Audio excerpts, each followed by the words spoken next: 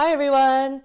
For those of you who are visiting my channel for the first time, I'm Mika Kim and I used to be a consultant at one of the big four consulting firms. Last time I created a video about why consulting might not be a good fit for you, and many of you have asked me to create a follow up video describing the pros of consulting. One quick note everyone's experience will differ, so don't take this as an absolute rule, but take it as more of like an insight from one ex consultant's point of view. Really, without further ado, let's dive right in. Number one, network growth. As you may know, in consulting, you will end up working on multiple projects with different managers, different team members, and different clients, which means you will meet ton of new people. If you think of a traditional industry job, you end up staying on the same team with the same boss and while working with mostly a similar group of people. But in consulting, your environment will constantly change. Projects can span from as short as one week to as long as several years. So obviously this experience will differ per person, but personally for me, most projects lasted about a couple of months. So during my two years at Deloitte, I worked on about 10 different projects. And through those projects, I have met so many different people and they ended up all being connections at the end of the day. Consulting for me really helped me grow my professional network. I'm the type of person that has a very hard time going to networking events or making small chat with different people, but being in consulting kind of helped me push out that boundary more because organically I was in different projects and meeting different people, and that really helped me grow my network. Number two, diverse learning opportunities. As I was mentioning, in consulting, you'll be working on a variety of different projects. So you get to experience many industries and get a taste of how other companies operate. I've worked with the financial sector, higher education, oil and gas, insurance, government bodies, retailers, and etc. etc. Therefore, I got exposed to different industries, which I would never have been able to get that experience otherwise. Where else would I have had an opportunity to work in an oil and gas company without committing to it full time? In addition to various industry exposure, you get a sneak peek into these different companies and their work culture. Therefore, this helped me broaden my perspective a little bit more, which I thought was awesome because it really helped me make that decision of what field I wanted to be in after I exited consulting. Let's talk a bit more about the learnings you get from the day to day work you do. I've worked on projects where I was in a strategy role for a client that was going through an acquisition. I've also been on projects as a functional BA and eventually moved on to take on more technical and engineering roles because that aligned a bit more to my interest after trying out all these different roles. I even had a project I remember being a scrum master. So this was great because I got to try out all these different positions and finally came to the realization that I wanted to become a software engineer full time. So I think consulting is really good if you don't really know what you want to do. So think of it as a beer sampler where you get to try out different projects, industries, roles in smaller quantities. But like I said, your mileage may vary. I have also seen colleagues that have worked on engagements that span multiple years, and so they ended up working with the same client on the same role for the whole duration of their time in consulting. Therefore, I personally feel that if you want to get the best experience out of consulting, you should try to put yourself on different projects. Now, you have to play the politics and the strategies right to be on projects that you're interested in and that you want to grow in. I think that's a video for next time because I think it's going to get super long if I go into the nitty gritty details of it. But let me know if you're interested um, in the comments below. All right, number three, exit strategy. I have seen consultants leave for all sorts of different roles and different companies. Like I mentioned, since you get to acquire knowledge and experience in different industries as well as different roles, all of these like small experiences that you accumulate ends up becoming a door on its own when you decide to leave consulting. In addition, I've also seen colleagues get scouted by clients that they have worked with generally with a hefty pay bump and sometimes a promotion, which is another way of exiting that works out really nicely since you already have that rapport with your next workplace. Like, for instance, I have heard of stories where um, someone that was just a consultant like a consultant level, get an offer from one of the clients that loved working with her because she was just so awesome at her job as like a manager and they were offering her a ton of money. So, if I bring this back to my personal experience, despite consultants moving into a software engineer role not being as common as consultants moving into different roles. When I was interviewing with various tech companies, they were still very, very curious and interested in hearing about my experience being in consulting. And some of the interviewers thought it was a plus point that I got exposure to multiple companies and acknowledged my work ethic. Which leads us into our next topic, which is number four work ethic.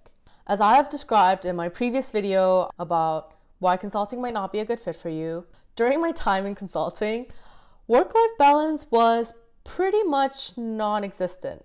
There's definitely the grinding culture where you're expected to work long, long, long hours, and working during weekends and holidays was quite common as well. Now, that really sucked, but it did give me a great work ethic.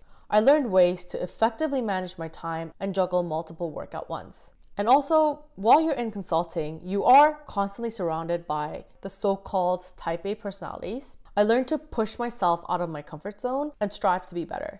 Now, obviously, I could not sustain a lifestyle like that, which is why I left. But now at my current company, if I ever run into a situation where I have a ton of work I need to manage, I'm able to handle time pressure and stress much better than I used to back when I just started out my career. How I kind of see it is like throwing myself into like a shock situation where I've been under so much stress and so much pressure being in consulting and how that was so common throughout my career there. Now, if anything else comes at me, it feels almost like a breeze. So, all in all, if I have a day at my current company where I feel overwhelmed, I get into that mindset where I think back to my time in consulting and get kind of like reassurance, like peace from that, because what I'm going through right now is nothing compared to what I've been through in consulting. Okay, and the last point, number five, I just wanted to hit on some miscellaneous perks or miscellaneous benefits while you're working in consulting.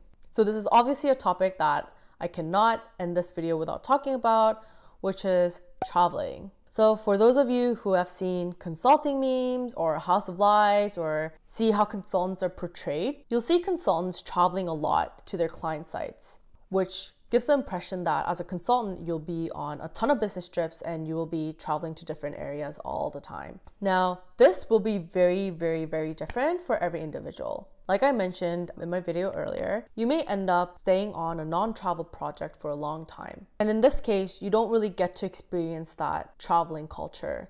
I feel like traveling is one of the flashy allures of consulting, but it's definitely not a guaranteed perk. Just because you're in consulting doesn't mean that you'll always be on a travel project or you may end up being on a local project that spans over a couple of years. Another thing is you may end up traveling to the middle of nowhere, in which case you may have to stay in a dingy hotel with no good food places to eat for the duration of the project. So it's definitely not all bells and whistles despite how it's portrayed. I feel like I'm going into the cons again and not the pros. But yes, it is true that if you get slotted into a travel project, you get to fly out to a client site, stay in nice hotels, and eat on the company dime.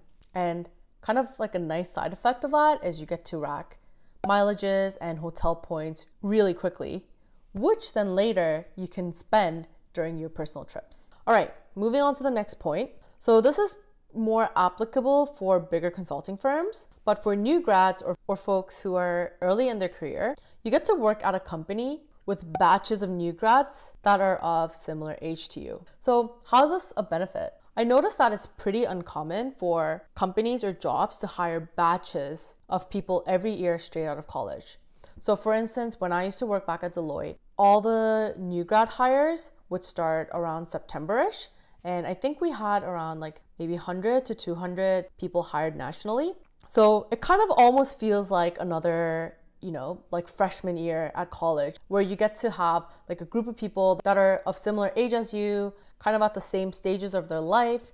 Everyone is starting out new in consulting. So it's really easy to make friends at work. When I'm looking back to when I started, I met a group of friends during our orientation week, and we're still really good friends to this day. We hang out outside of work, we all keep in touch. One of the best outcomes that I have from working in consulting is actually the people I met and the friends that I made there. Because having a group of friends at work where you can vent together about things that happen at work, meme together during the long work hours, made things much more bearable and fun. The next miscellaneous benefit is the work hard, party hard mentality. So I know that this may not be a pro for everyone, but if you do like the work hard, party hard culture, then consulting is the right place for you. I've never seen a company spend so much money on parties and socializing.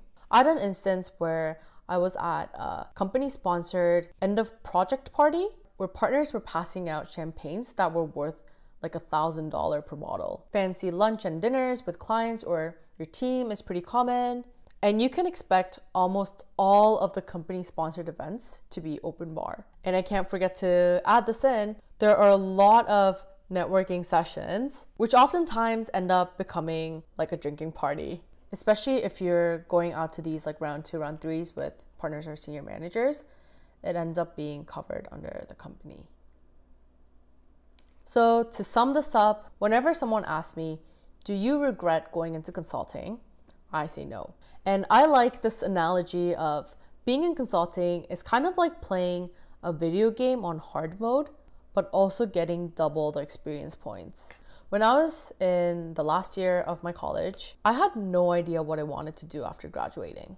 I floated the idea of maybe going into a project manager role or a business analyst role, but also at the same time, I wanted to be technical and my thoughts were just all over the place. But consulting provided me the opportunity to try everything out. For instance, if I dived straight into a dev role right after college, I wouldn't have been able to try out a project manager role or a strategy role. And perhaps that self questioning of maybe I should have tried something else after graduating may have bothered me throughout the rest of my career. So, personally, as much as I hated the grindy hours, I am so glad that I started out my career in consulting. So, thank you so much for watching till the end of this video, and I will see you in the next one.